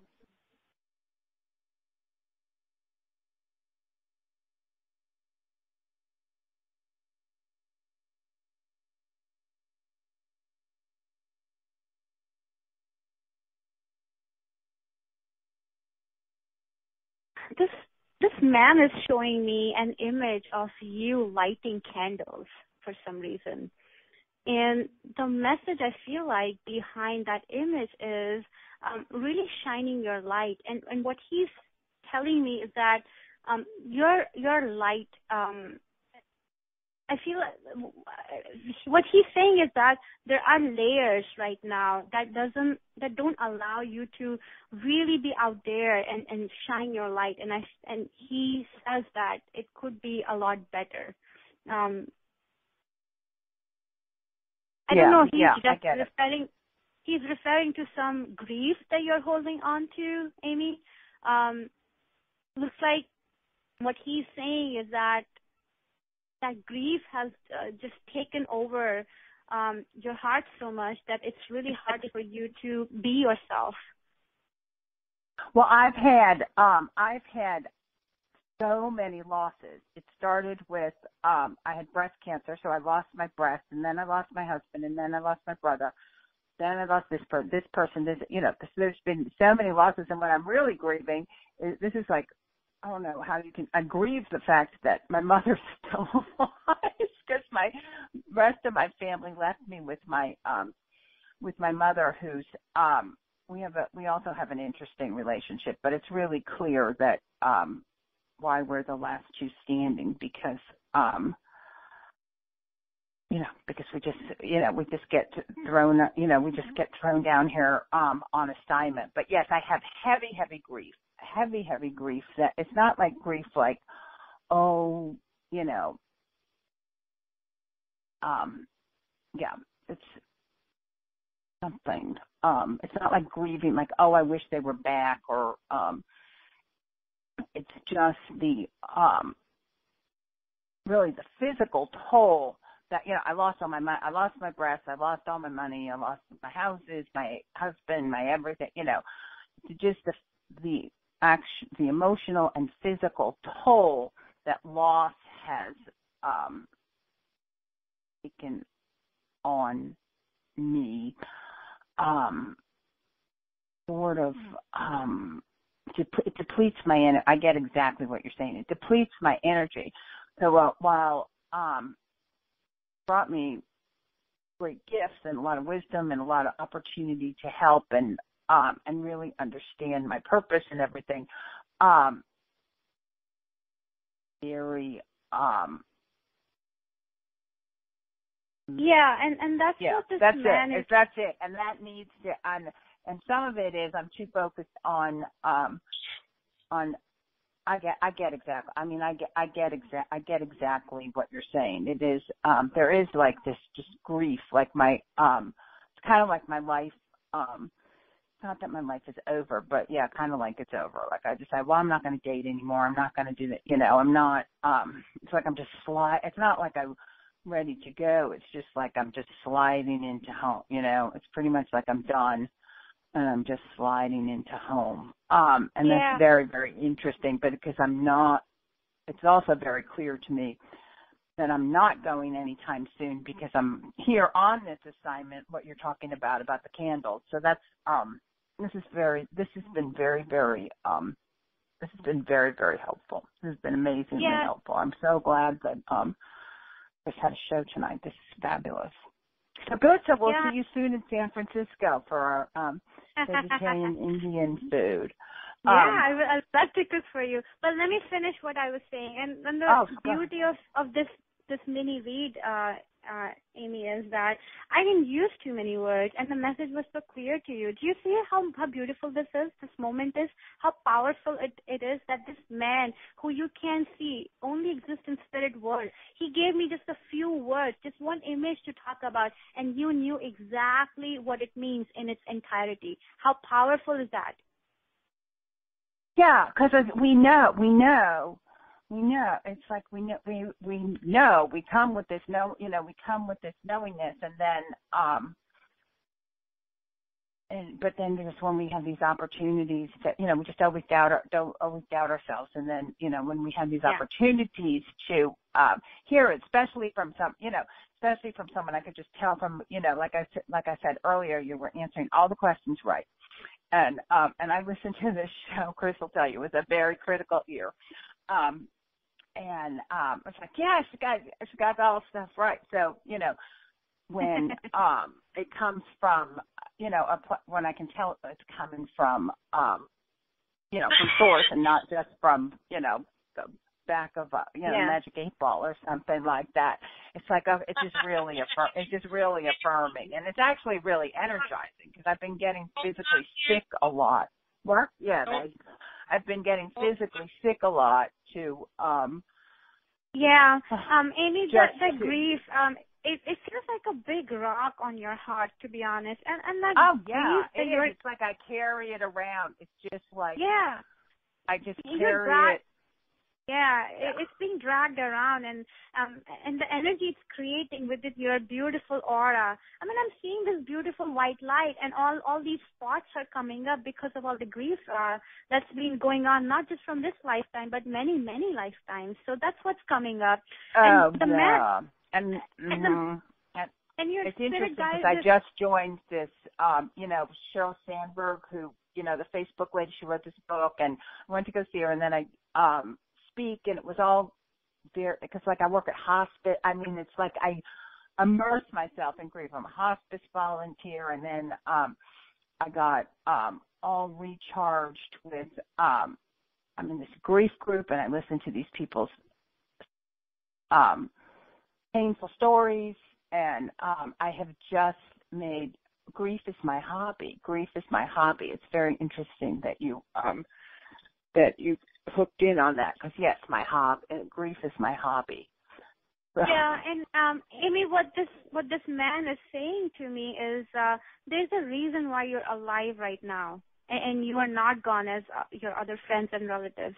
And, and the reason oh yeah, is your I get purpose. that. I get Yeah. that. And I, because I even had like a when I had cancer, I didn't know at the time because I was I hadn't really studied a lot of this stuff. But I mean, my life started flashing before I realized now that I was having like a life. It was like I was having a near death experience. It was just like a near death spiritual experience from spiritual trauma or emotional trauma as opposed to like physical you know, some physical thing like my heart stopping to beat. I had the chance to check out with the cancer. Then when my husband died, the craziest thing, he was scared to die and I ended up leaving my body and um like I was like I'll die for you because some because you've got to go. And I had this like odd encounter. I guess I ended up in the Catholic part of heaven trying to because he was Catholic trying to get him over to the other side and I saw um so yeah, so um so I get this exactly what you're talking I know for a fact that um I'm supposed to be here. Um and which is really good news, you know, which is really good news because no matter how bad things get, you know, it's just like, nope, you have to be here. I mean, and that's kind of what I know from doing some past life regressions and stuff, um, and from living this life, you know, that the only thing I have to um, do in this lifetime is not commit suicide. And, you know, whether it's like, you know, a bottle of pills or suicide, you know, like a long drawn out um suicide by not um by not taking care of myself. Um and that's really good to know. That's really good to know because it's like it's just not an op you know, it's just not an option. It's like, yeah, that would be um that's all well and good and um but it's just become it's just become so clear. So I have enormous amount of resilience, but sometimes that resilience um gets like really it's really interesting that you picked up on um the heaviness of because it is it's very heavy. I'm tired, weary, um not especially um enamored by it. You know, not much excites me. Um it's it's this been fascinating and perfect perfect Yeah. timing. Yeah, and, and the man is um saying that Amy, I love you, and he is um he is um showering these these these uh, flowers on you, and and kind of it's symbolic. It's he's saying that I know how hard life is, but we're gonna get through this together. Yeah, yeah. It's like it isn't even. It's like it's just so hard. It's like, but I kind of get the idea now, like it's supposed to be hard. But but then that's where the martyr thing comes. You know, there's like light and dark qualities to all of these kind of archetypes. You know, and there's a lot of resilience that comes with the martyr. But then there's also that like, okay, I'll take on the weight of the world, and I, you know, I'll sacrifice and not have any fun and um uh, yeah, it's very, very um, interesting that I'm leaning too much into um, Yeah. the darker side or the whatever, the, the you know, the the slow, lower energy side of martyrdom instead of like um, I've got to, you know, being a bright light, like you can do it, you know. Yeah. Um, just keep moving. You can do it. I, and it's fascinating that you picked up on that because that's why um lately I've been so sick. I'm just sick and tired. I'm like sick and tired, you know. And um the Yeah. only way I can um rest is get phys- is get physically sick. So um this has really been fascinating, fascinating because it's really annoying to everybody around. Like I, you know, everyone's like, yeah, we know, you know, we know, we know, you know. It's but it's like annoying. It's like it's just annoying, you know. To, Yeah. Um, oh, Yeah. here she is, the martyr girl. She, you know, like and I've been moving. I had to move my mom, you know, and I like move. I even like I'm such a martyr. I have to carry heavy stuff around. Like this one day, I was moving a mattress by myself, and someone said, "Do you want help?" And I was like, "No, I got it." And I was like practically about to collapse, and I'm like, uh, Yeah. you know, it's like, "Oh no, I don't need any help. I don't need any help." Like even when people Yeah. ask me if I need help. I never, I would never ask for help because it's like what, you know, weaklings do. But then even when people say, can I help you? I'm like, Yeah. no, I got it. And it's like, no, you don't at all. Yeah. know. So that's Yeah. that's amazing. Yeah, life doesn't have to be too that hard. But one image that this man is showing uh, me, Amy, as we were talking, was uh, you sitting almost on a stage and um, almost like a spiritual guru type. And I'm seeing all these people uh, around you, and and they're just so Oh, that's uh, that's Corrine's. That's Corrine's um conference that she's having. Corrine, did you hear that? She sees me on a stage. That's Corrine's conference. Oh, really? I have no it's idea. been coming up all week. It's been coming up all. It's been coming up all week, just in these random. Oh my goodness. Yeah, that's Corrine's conference. Wow. So uh, what this man is telling me is that you can show um, others how to overcome their grief by being an example to them. So that's what's coming up. Oh yeah, no, I get that. I mean, I get yeah, Yeah. I get that. So that's awesome. It's in October. Hopefully you can come and speaker. Awesome. This has been such a great treat. This is such a great treat. I've really enjoyed this. Where's that at? Oh, it's going to be by Corrine's house. It's going to be by Corrine's house in Massachusetts. Right by, right beside her house. I'm Yeah, it kidding. is right beside her house. Actually, it is right beside her house. It's a Unitarian church. Do you need anybody to cook Indian food? Yes, If you need do, as a volunteers, let me know. Do, as a matter of fact. This is so perfect, Corrine. It's moving along. Oh my gosh, I love when things happen like this. I love, I love when it works like this. Yes, because Indian food is so, um, it's it's perfect. It's perfect for the, um, you know, because I hate when I go to these spiritual events, and then they bring in like Chick fil, you know, fast food for the, um, Yeah. you know, or there's like chocolate cake for just it's like, wait a minute. It's like um that's so funny. Perfect. Well we'll tell we'll, we'll tell we'll tell you more um we'll tell you more about this has just happened over like the past like couple couple of nights, but it's really Okay. um moving further and further into being a real thing and it's gonna be in October. But it's so Oh, wow. great to meet you. Thank you so much. Yeah, will. Amy, We'll, tell, uh, we'll get you thank you more for- information. Thank you for sharing your light with me today. I really enjoyed our conversation. Oh, you too. You too. Um, and I get. Are, Chris, are there more re? Are there more people in the queue? Not that I'm aware of. Oh, okay. Because I wanted to talk. You know, because you were talking there- about. Uh, wait, wait. Actually, there was Jackie. Uh, let, let me look and see if Jackie's still there. Well, you look while I quickly tell this one little story. You know, when you were talking about the um the Indian thing, and this was something that happened as a function of, you know, I um went to the Kentucky Derby with my friends and some of my friends' friends, and two of these friends were a couple, and they're um Indian. I think that the why, and she's a doctor. Um, but she was also having infertility problems. And I guess when she was at the Derby, we didn't quite understand because you know we're all there and it's all like everyone's all dressed up and it's so beautiful and stuff like that. She got overwhelmed with um grief because she had just miscarriaged again. And Oh.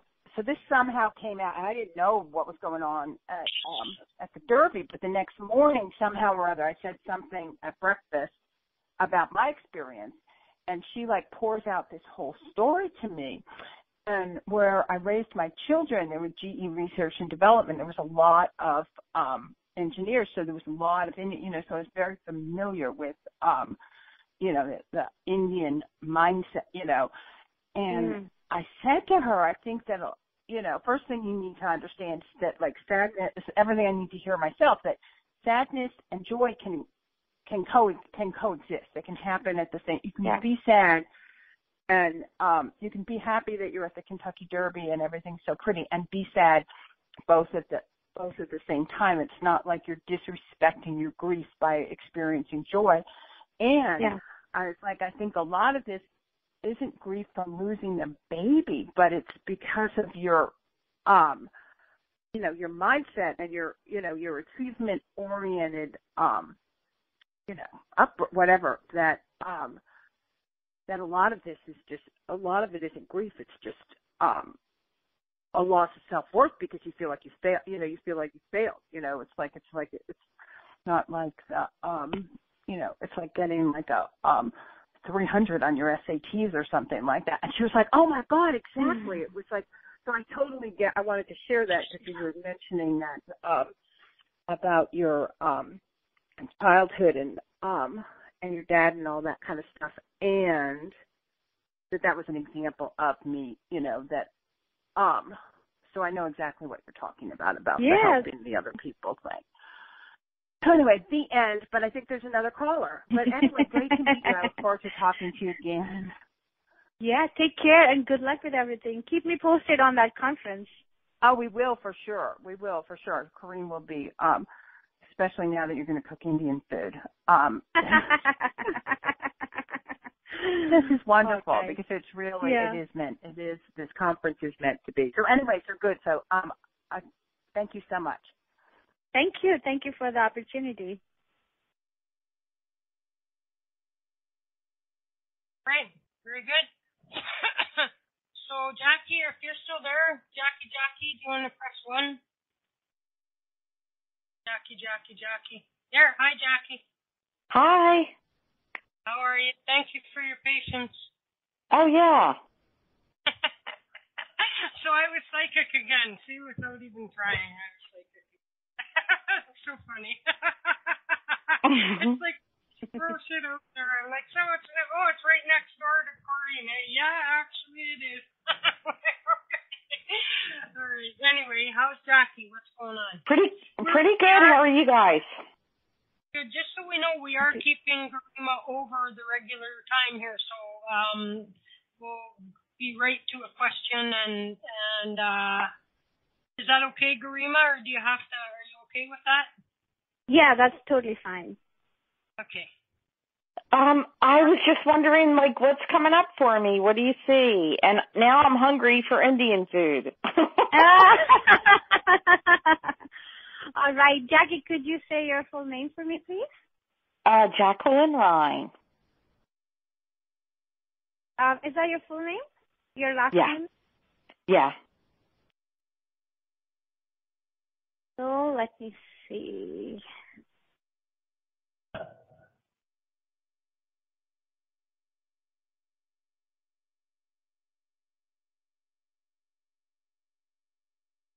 So Jackie, um, I am getting an image of an orange, um, and looks like there's just a lot going on, and, and a lot of things like multitasking is, is like looking in full gear right now. Um, I feel like that you're just working a lot on a lot of different things, a lot of different ideas. Um, I am seeing you uh, specifically working on um, your uh, second chakra, which is related to your emotional, your, your emotions. Um, y- you're you're uh, vetting out what it really means to be a woman and try to embrace that more and more each day, um, and and really um, kind of owning your emotions more. So that's what's coming up. Do you have any specific question for me to dive into? Um, just like work, career.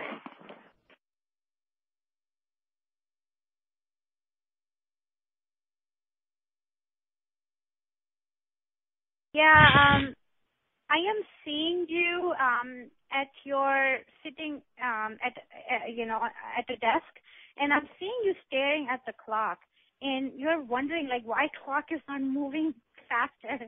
Uh, so I feel like I'm getting a I am getting a sense that uh, you're a little bit bored actually, um, and uh, you're looking for that time. My God, like when it will be five o'clock and I can just head out and go back home. So I'm, I'm getting that feeling of boredom uh, from this current job you're in. Um, well, I'm just I'm I'm doing an internship and I'm not getting paid, and um, it's kind of far from where I live. So I I enjoy what I do. I just you know I don't enjoy not getting paid for it. Yeah, looks like you're just uh, doing like a countdown or something. Like when will this be over? Um, yeah, So in about ten or twelve weeks or so. um, yeah. So, um, so are you looking for new jobs, or what's going on with the full-time job?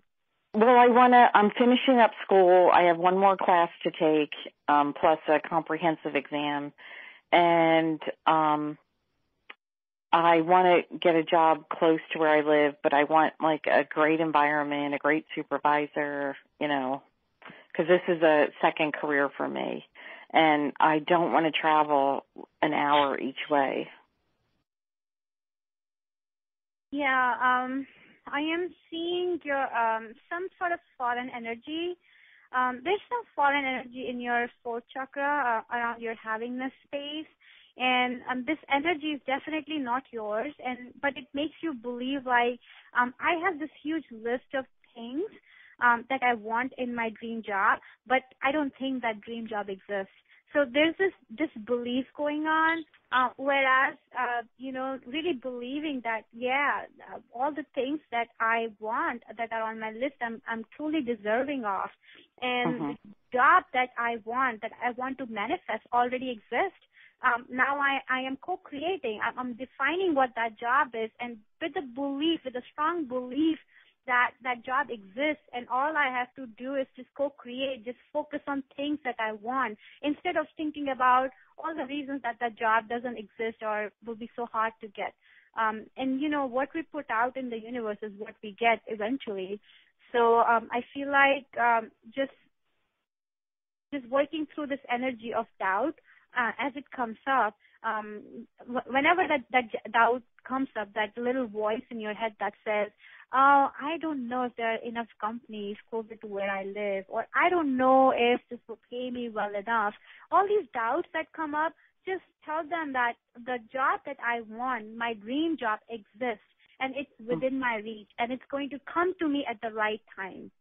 Mhm. So so that the doubt is is gone and it doesn't uh, create hindrance in your way of uh, really manifesting it. Does that make sense? It does totally. Yes.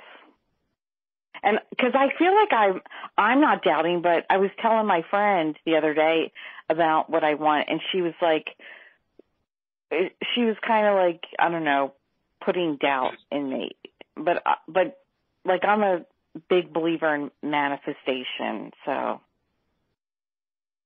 Um, Yeah. So so uh, when these doubts come up, whether it's internal or external from people around you, you just have to remind yourself that um, my manifesting space looks perfectly clear and it's blessed by the divine and I am going to get exactly what I am looking for.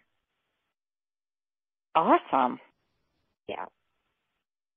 So, so just believe in your ability to master, to be a master manifester, um, to really attract all the experiences you want in your life that makes you happy. Um, and, and, and think what makes you happy, what, what creates joy for you, you know, money can pay the rent and, and, you know, is, is definitely a helpful tool in this world, but it's not everything, right? So, um, just being clear on what you want, I think will be will be helpful. And I feel like you have a lot of clarity, but just this doubt creeps in at times that um, makes you wonder what will happen. Mhm. But but I see you you being very clear about um, things that you're wanting in your life. Awesome. Okay, great. Well, thank you so much. You are very welcome.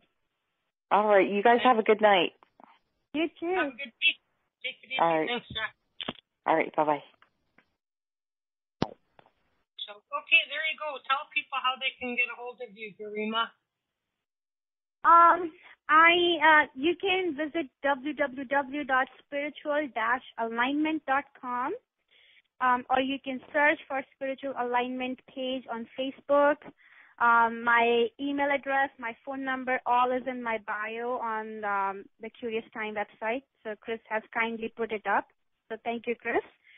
So Yeah, no all problem. the all the avenues of getting hold of me are definitely listed. Awesome. Well, I guess so. You'll be back next time, uh, the next uh, fourth week. Uh, let me find out exactly what day that is in June. Uh, the 25th, June 25th. You'll be back. That's right. Okay. Well, thanks very much for your time, and uh, look forward to the next time, Garima. Yes, Chris, pleasure talking to you tonight, and um, uh, good luck to you, and hope to see you again soon. Have a All good right. night. Good night, Take care. everybody. Thank Bye. you. Okay. All right. Um, I didn't play even one song tonight, so let me. Well, I did before the show started, but let me play one. I don't know if you guys are hanging out or what you're doing, so I'll just uh, toss song on quick and we'll see what happens. Um, let me find something. These dreams. I'm gonna play. Here you go. Uh, for Dan. Alright, let me find my music. Ah, okay. What's going on, you guys? Are you coming on or no? Hey, I'm here. That is um, Inland Sky. Inland, I-N-L-A-N-D, Sky. Oh, I never heard of them.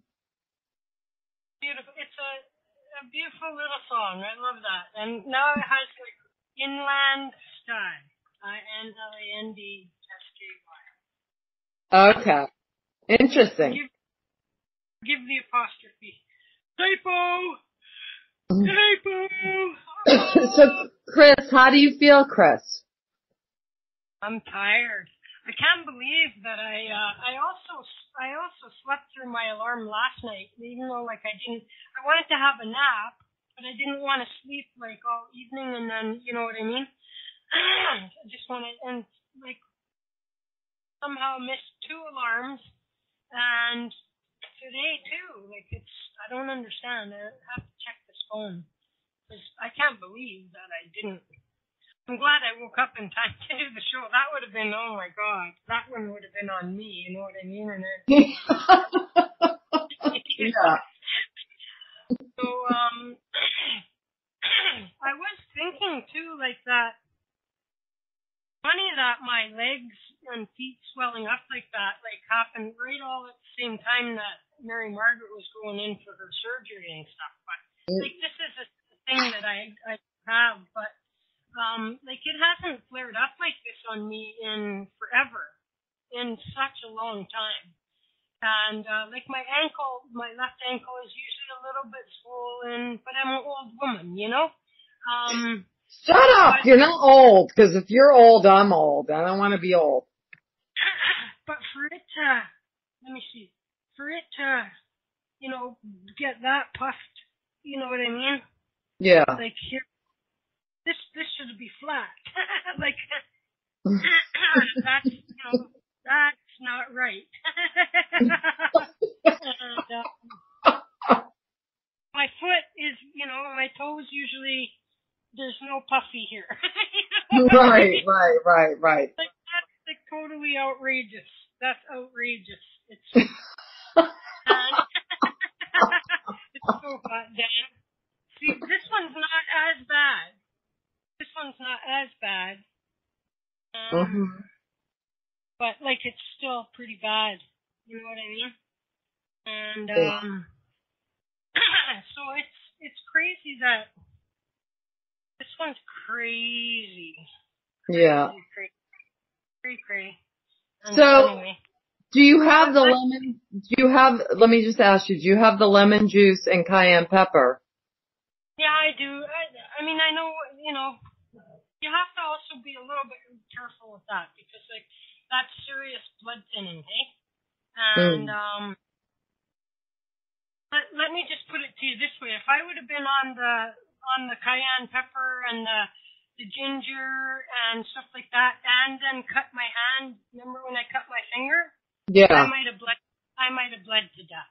Oh you know what I mean? Yeah. And um so it's a it's this little slippery slope. I've been trying to, you know, be that's the whole thing. It's like I know once I go lay down on the couch, like when this thing does flare up and I go um the idea is keep your feet elevated above your heart, you know what I mean? And um and and so I know that I'm at risk if I lay down on the couch, I'm at risk of sleeping. Mhm. Uh, so, um, I've been trying to do that. I've been trying to see if I can't just let it settle down on its own without. I don't know if there's been a food that, that aggravated it or why it came on just like that. Boom. You know what I mean? And uh, uh, it's a mystery to me. I can't. I can't. So blood clots are formed, if in fact they are blood clots, are they formed from non-activity or how are they formed? Yeah, I mean, people actually get them by uh, just as on a, on a single airplane flight, people can get them. You know what I mean? There's people that that uh, get them from like long trips. Uh, some of the race car drivers, they get them. Uh, you got to keep in mind that not only like do I spend a lot of time at the computer, but even before that, the job that I had, I drove like sometimes you know, 10, 12 hours a day. I would drive five or six hours to a meeting, have the meeting, and drive five or six hours back home then, you know? Right. And so, um, there's all of those, all of those things that, uh, you know, but that's really what it is, is that, uh, you know, if it's deep vein thrombosis, then, then, then there you go. If I have deep vein thrombosis in the lower leg, then, um, the chances of the, uh, you're at higher risk if they're above the knee, uh, Mhm. or in the hip area. You're at higher risk of the blood clot breaking free and then going to either your lungs or your heart. Uh, and, um, but when they're in the lower legs, you're at less risk for that to happen. Um, then basically, you know, like I said, uh, when it's been quite a long while since it flared up like that, and so I'm thinking, you know, uh, I don't know, I don't really know what the deal is, but all I know is that um, it is what it is, and I just thought the timing was kind of funny that you know I saw that big puffed up leg of poor Mary Margaret. I'm like, oh my god. No kidding. Yeah. That's I know. That looked like a Frankenstein. Oh my god. And uh like that's that's freaking unnecessary right there, man. That- that- He's like, you don't go looking for the knee. It's pretty easy to find, buddy. You don't start at the hip and work your way down, okay? Right. like holy crap! Like I have a hard time believing that they needed to get that carried away. Like seriously, that's like what from her mid mid mid thigh, uh, mid calf up to the freaking upper part of her thigh. Right. Totally. I know. That's like, oh my god! I'm like, I was well like, you're sending me a picture of your freaking leg, aren't you? And like when I saw this private message with a picture, and so I'm like, truly, I'm like going like this, and I'm like, oh, you did do it, damn you, Mary Margaret. you know, and uh, like I don't do good with that, and so anyway. said, she said, well, it's hurting a lot and probably because of the rain. I said, well, then let there be sun, you know, let's make it be sunny then. And so, um, but, you know, I, I guess it can, then now they better, I said, and they better fucking not let their get, pardon my F word, not let their get infection. That's a big area to worry about when sitting in a freaking hospital. No kidding. No kidding. I go, they better not let that get infected. I Mhm. don't think she care about her scars. She wants to just be able to walk. Yeah. Uh, I put on her Facebook page, uh, somebody said something about like the, the they have to give her a hinge or something. I go, see, I always knew she was unhinged. and uh, so anyway, um, hopefully, hopefully every day gets better for her now, and and that they didn't mess nothing up, and off she goes. You know. Mm-hmm. And, uh, Totally. she's a time with that. So I'm sure she would enjoy just I bet you like can it's like not being able to see for years and then all of a sudden you can see. You don't want to probably sit at home looking at the same walls you've been looking at or whatever. You know, you want to go see everything there is to see then. So she might hopefully she'll want to get out walking all the time. Walk, walk, walk. I'm going to go walking. Why? Because I can. Right. so, Yeah. I hope so too. I hope so too.